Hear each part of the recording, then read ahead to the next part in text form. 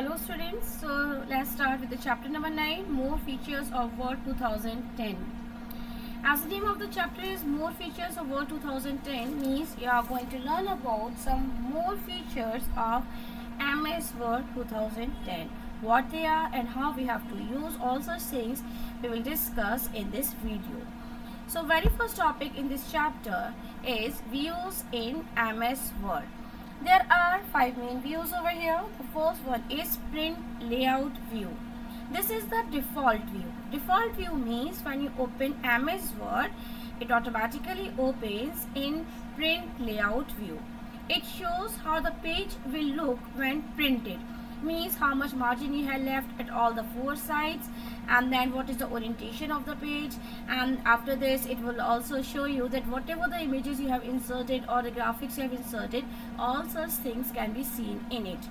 This view is good for adjusting margins, columns, header and footer, working with the drawing objects, text boxes and frames. So in this in this uh, view you can easily change the margins simple by dragging on the ruler. You can display the document in different columns. Header footer can also be seen here.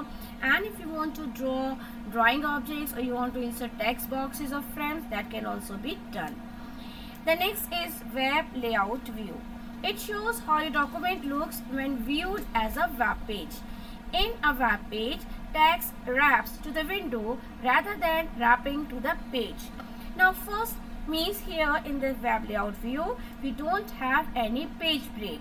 All the text display as a single page. It does not contain any page break. And the text will be displayed according to the size of the window. Now i means the width wise according to the size of the window. Now first i will explain you when you will do the invert how it uh, displays.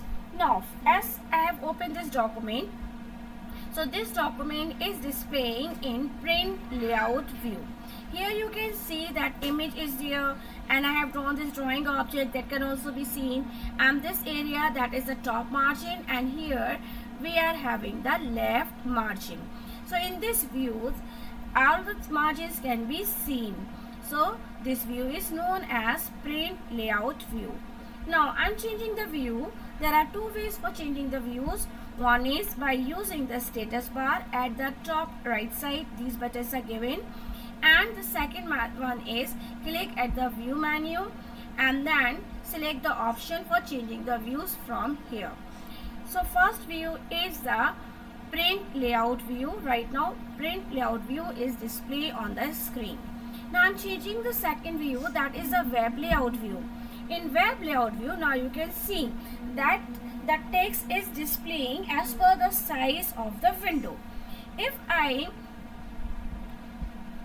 use change the button means change the size of the window then accordingly the text will be displayed by clicking on the restore button and as I maximize then according to it the text will be shown.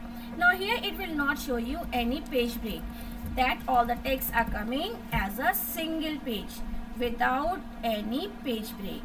No page break is here. But when we work in print layout view, then it displays the page break. Here I will show you that how it will be displayed to you the page break. Now first page is coming over till here.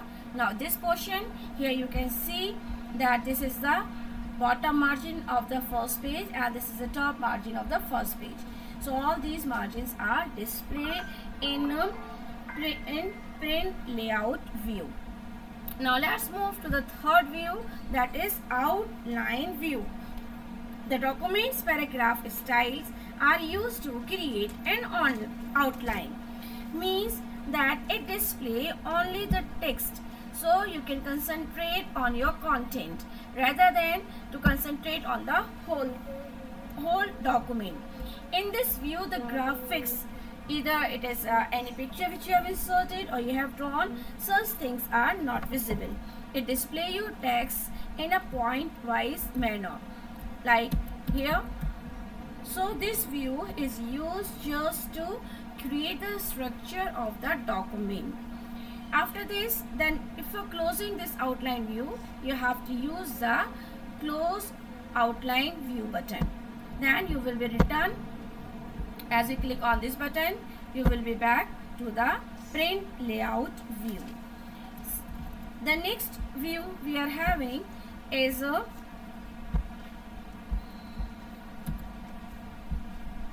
is the next on now read mode of full screen reading.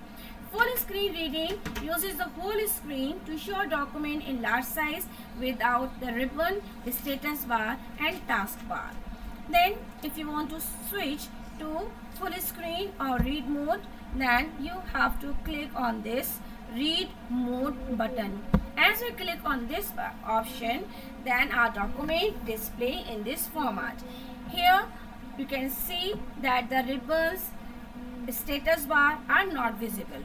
Only these few options are visible over here which are used while we are working in this mode so here read mode here you can see that it's just coming as a pages of a book. So easily you can go through it. So this view is known as read mode. Now two ways are there. One is by using this read mode button. Second method is by using click at the view menu and select the option read mode. By using these two methods you can change the view. After this the next one is the draft view.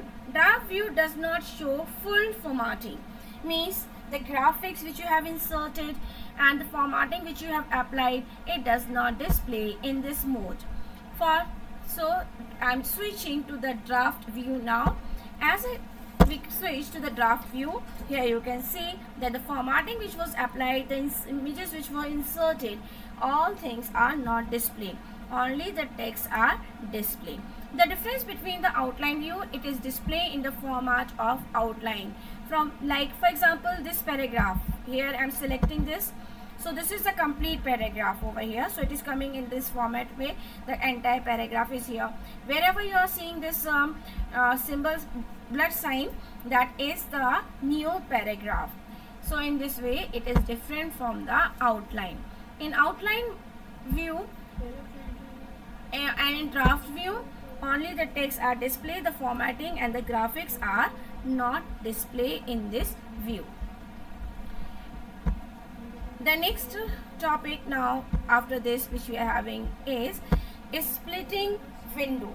Splitting window means divide your ms window in two parts means that if we divide the window into two parts then we can scroll it or we can display the different content at the same time on the screen. So for splitting the window first click at the view menu and select the option split. Now the window is divided into two parts. This first part is contain one uh, scroll bar. Now there are two scroll bars top here for the first window and at the bottom for the second window now for example, total we are having 8 pages. Uh, so we want to scroll, we want to see some content of the page on we want to compare some information uh, at the same time so we can display. Now for example in this document there is one table and one chart is drawn. I want to see both of the things together which are presented on different pages. So in this way it can be used. So here after this first page is here. I'm scrolling it. I want to show the table over here chart in this. And now on the second page I want to display table. So in this way we can display the content from the different pages. Uh, so we can divide we can split our window in different pages if you want to remove this split then click on the button remove split and then again it will be displayed as a single page. Splitting will be removed. There is one more method for removing the split. Bring the cursor on this and double click on this split button and then the window will be splitted. You can even change the size of the splitting window. Now here you can see that both the windows are divided in equal size you want to change the size you want to display the first window in the bigger size and the second window in the smaller size. Then simple by dragging the this split line you can change the window. And double clicking will remove this splitting. The next topic which we are having after this is is few more topics here. Zoom in views. Zoom means that increasing or decreasing the size of the document now for example right now this document is displaying in 100 size. Now if you want to change increase the size of this then you can increase the zoom zoom zooming. So here this slider is given. That is the, called the zoom slider. Here at the left side minus sign is there and at the right side plus sign is there. Simple by clicking on this plus and minus sign or you can simply even drag the uh, slider also so that the zooming can be changed now here I have changed the zooming to 7 uh, 68 percent. And then here I'm in, I have increased the zooming to 268 and if you want to keep it 100 bring it to 100 that is the original size. After this the next topic. And one uh, another option for changing the zoom is click at the view menu. Then there are different options of the zoom. That how you want to change click on the zoom button then the dialog box appear. It contains different sizes. Different options are here. You can select any one of the option according to your choice. The next thing is uh, how many pages you want to display. One page multiple pages.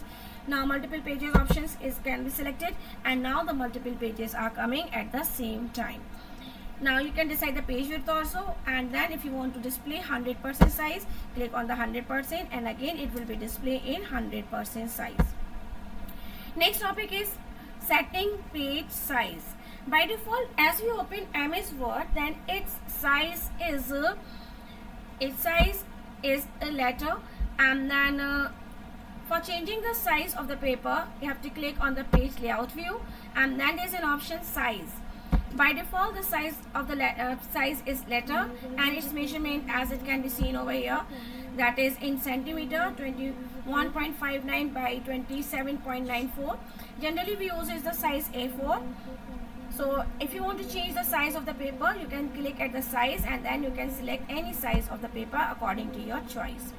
If you want to give your own size then that can also be done. For this click on the option more paper size.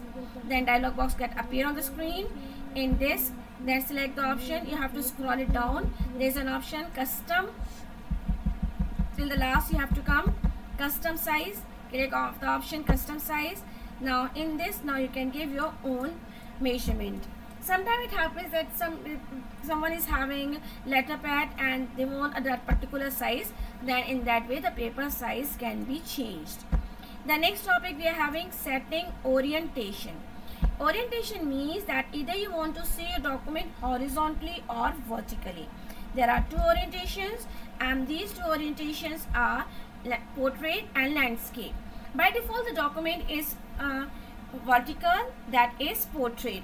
Here I'm just uh, uh, reducing the zooming so you can see the pages clearly. Now these pages as you can see are vertical. After this I'm just I'm just clicking on the orientation option and then I will change this orientation to landscape. After this changing now the paper size is become that is horizontal. So in this way the orientation can be changed now I'm changing the zooming again to 100% so you can see the document in that way. After this we are having the next topic is margins. When we open MS Word then by default some margins is left at all the four sides. Now for example you can see this is the left margin blank area. Margin means that the area left uh, for from the edges of the page. So that is the margin. This is the top margin bottom margin left margin in that way. If you want to change the margin then click at page layout option select the option margin. Some margins are already given over here. If you want to select any one of these options you can select like normal narrow. You don't want very small margin at all the side. You want big margin then you can select the option wide. After this custom margin option is also here. And by using this you can change the margin by yourself. You can give whatever the top left right margins you want to give accordingly you can select the option and click on the ok button. Now next uh, after this um, so here we have completed. Now the assignment questions. Question number one what is the default view in ms word 2010 question number two name the tab which contains the options to change margins orientation and paper size. That's for that's all for today thank you